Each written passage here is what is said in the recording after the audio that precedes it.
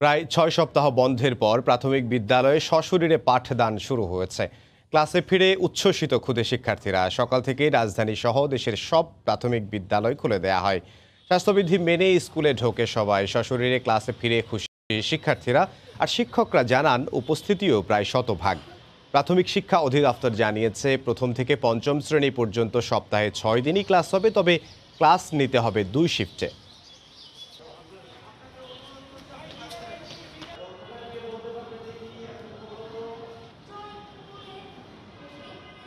যখন স্কুল বন্ধ হয়ে যায় তখন স্কুলকে মিস করি আরও আরও ফ্রেন্ডসদের মিস করি। খুব খুশি লাগছে। আমাদের সারা বছর স্কুল খুলে থাকুক এটা ভালো লাগে।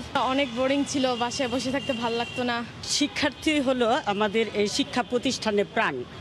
যদি প্রাণ না থাকে তাহলে শিক্ষা প্রতিষ্ঠান তো নির্জীব হয়ে যায়।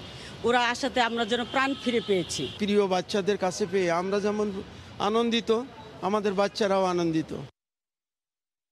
এই মুহূর্তে রাজধানীর আইডিয়াল সরকারি প্রাথমিক বিদ্যালয়ের সামনে আছেন সহকর্মী শাকির আহমেদ এবং চট্টগ্রাম ডাক্তার খাস্তগির সরকারি বালিকা উচ্চ বিদ্যালয়ে আছেন সহকর্মী ফেরদৌস লিপি। সরাসরি তাদের কাছে যাব। প্রথমেই যাচ্ছে শাকিরের কাছে।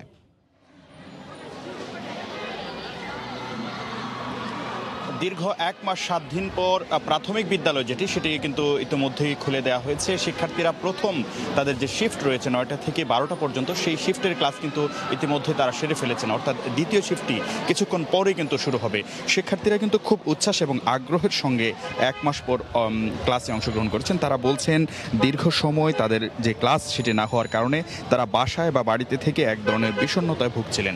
সেটি তারা অনেকটাই কাটিয়ে উঠতে পেরেছেন। পাশাপাশি শিক্ষক যারা রয়েছেন, তারাও বলছেন শিক্ষার্থীদেরকে না পেয়ে তাদের মধ্যেও কিন্তু এক ধরনের অচল অবস্থা ছিল। অর্থাৎ শিক্ষার্থীদেরকে না পেয়ে তারাও কিন্তু বিষণ্ণ ছিলেন। সেটিও তারা কাটিয়ে উঠতে পেরেছেন। আজ প্রথম দিন স্কুল খোলার পর উপস্থিতির বিষয়টি আমরা জানতে চেয়েছিলাম বিভিন্ন প্রাথমিক বিদ্যালয়ের শিক্ষকদের কাছ থেকে। তারা বলেছেন যে স্কুলের উপস্থিতি সেটি কিন্তু সন্তোষজনক। সেই ক্ষেত্রে তারা বলছেন যে নব্বই শতাংশ শিক্ষার্থী কোথাও কোথাও সেই আশি শতাংশ শিক্ষার্থী কোথাও কোথাও সত্তর শতাংশ শিক্ষার্থী ক্লাসে অংশগ্রহণ করছেন। অর্থাৎ তারা সেটিকে সন্তোষজনক পর্যায়ের বলছেন। পাশাপাশি তারা বলছেন যে এই পরিস্থিতিতে এখন সেই সীমিত সময়ের ভিতরে যে ক্লাস শুরু হয়েছে, সেটির মাধ্যমে নির্ধারিত সময় সিলেবাস শেষ করতে পারাটাই তাদের কাছে বড় চ্যালেঞ্জ। তবে তারা বলছেন যে ক্ষুদে শিক্ষার্থীরা তাদের সেই ক্লাসে আসতে পারার কারণে কিন্তু তারা অনেকটা উচ্ছ্বসিত। তারা বলছেন যে হয়তো সেই ধকল কাটিয়ে তারা সেটি সিলেবাসটিকে শেষ করতে পারবেন, এমন আশা কিন্তু তারা প্রকাশ করছেন। আপনি জানেন শুধু ঢাকায় নয়, সারা দেশেও কিন্তু সেভাবেই দুটি শিফটে শিক্ষার্থীদের ক্লাস নেওয়া হচ্ছে। অর্থাৎ একটি শুরু হবে নয়টা থেকে বারোটা পর্যন্ত। পরবর্তীতে শিফটটি বারোটা থেকে শুরু হয়ে চারটা পর্যন্ত চলবে। পাশাপাশি শিক্ষার্থীরা কিন্তু প্রতিটি স্বাস্থ্যবিধি যেগুলো নির্দেশনা ছিল, সবগুলো মেনেই কিন্তু তারা সেই ক্লাসে অংশগ্রহণ করছেন। আমরা জানি যে শুধু ঢাকায় নয়, ঢাকার বাইরেও ক্লাস শুরু হয়েছে। আমরা চলে যাব চট্টগ্রামে। সেখানে আছেন সহকর্মী ফেরদুস লিপি। চট্টগ্রামের ক্ষুদে শিক্ষার্থীরাও কিন্তু প্রায় দীর্ঘ এক মাসের বেশি সময় পর ক্লাসে উপস্থিত হতে পেরে কিন্তু উচ্ছ্বসিত এবং আমরা অভিভাবকদের মধ্যেও এক ধরনের স্বস্তি দেখেছি এবং তারা বলছেন যে আসলে বাসায় থেকে কিংবা অনলাইনে ক্লাস, এটা আসলে শিক্ষার্থীদের মনোযোগ এবং তা ধরে রাখা কিন্তু অনেক কষ্টকর। সেই অনুযায়ী কিন্তু স্বাস্থ্যবিধি মেনে যদি ক্লাস করা হয় স্কুলগুলোতে, তাহলে কিন্তু শিক্ষার্থীদের জন্য অনেক বেশি স্বস্তিদায়ক হবে এবং আমরা সকাল থেকে দেখেছি যে স্কুলে যেহেতু ক্ষুদে শিক্ষার্থীদের টিকা দেয়া নাই, সে কারণে কিন্তু এখানে স্বাস্থ্যবিধি মানার একটা কড়াকড়ি ছিল এবং মুখে মাস্ক পরা, স্যানিটাইজ করা কিংবা লাইন ধরে শ্রেণীকক্ষে প্রবেশ করানো, এগুলো কিন্তু শিক্ষকরা করছেন এবং শ্রেণীকক্ষেও আমরা দেখেছি যে একটি বেঞ্চে আসলে দুজন শিক্ষার্থীকে বসানো হয়েছে এবং মুখে যেন মাস্ক থাকে সেই ক্ষেত্রেও আসলে শিক্ষকরা কিন্তু শিক্ষার্থীদের সতর্ক করছেন। তবে এই ক্ষেত্রে শিক্ষকরা বলছেন যে তাদের ক্ষুদে শিক্ষার্থীদের টিকা যেহেতু সরকারিভাবে দেয়া নাই কিন্তু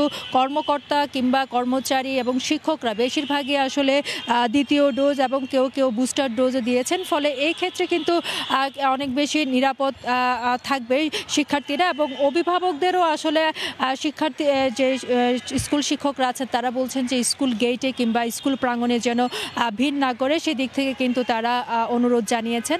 তারপরেও অভিভাবকদের কিন্তু নিরাপদ সামাজিক দূরত্ব বজায় রাখার জন্য কিন্তু স্কুলের পক্ষ থেকে বারবার অনুরোধ করা করা হচ্ছে।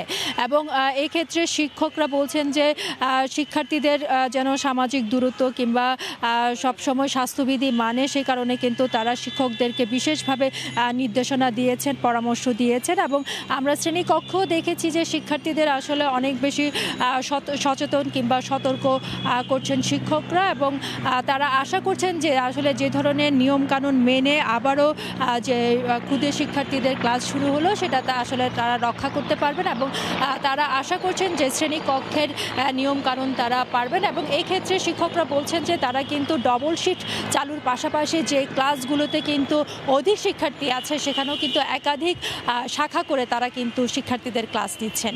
তো এই ছিল চট্টগ্রাম থেকে আমার কাছে এখনও পর্যন্ত সর্বশেষ। দীর্ঘ এক মাসেরও বেশি সময় পর প্রাথমিক বিদ্যালয় খুলেছে, সে খবর আমরা সরাসরি জানছিলাম।